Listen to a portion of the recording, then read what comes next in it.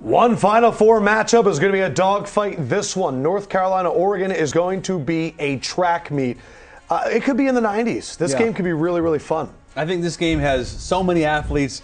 Uh, I would say five, six, seven in- legitimate NBA prospects.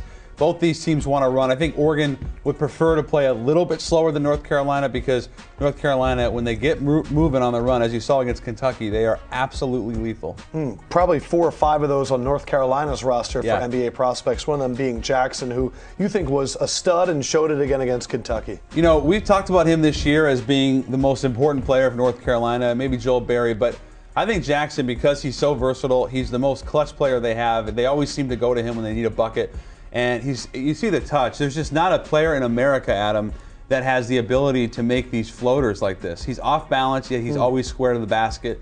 Came back to school, put on 10 to 15 pounds of muscle, although you, you can't really see it, but he hmm. has be, got, become a stronger player. And then the passing, he also always finds a way to get three, four assists. He's just uh, actively in the game, and that length is always a problem. Uh, in terms of Oregon, they've had different guys step up in different rounds. Uh, who needs to step up for them against North Carolina? I'll just stick with Tyler Dorsey. Keep it simple. Mr. March, that's what they call him. A sophomore, former McDonald's All American. Another guy that tested the draft waters and very shrewdly came back to school. He was just unbelievable against Kansas. The two back to back threes at the end of the first half, as you, as you see here, really, I think, put the dagger in the Jayhawks. He is so good going to the hole, but really his game right now is that stop and pop three, and that's what makes him really tough because he's such a good athlete. He's dynamic at 6'4, 27 points.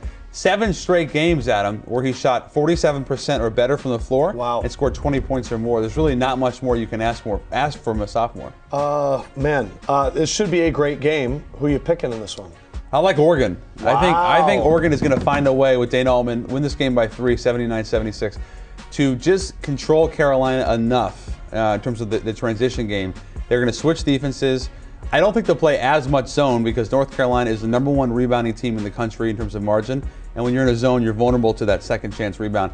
But I think they're good enough from a man defense perspective and good enough offensively to win it. Ducks fly together, right? That's that's yeah.